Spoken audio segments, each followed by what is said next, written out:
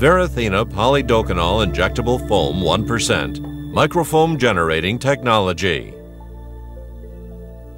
Varithena Polidocanol Injectable Foam, a low nitrogen microfoam with controlled physical properties, is dispensed from a proprietary canister device.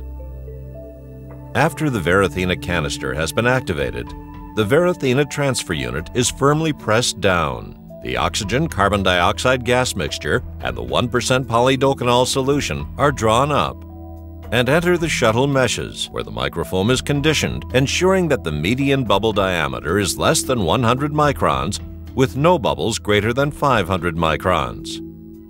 The resulting microfoam, when generated following the instructions for use, is a cohesive, low-nitrogen injectable microfoam with controlled density and bubble size. Varithena injectable microfoam exits through the one-way control valve for filling of the syringe.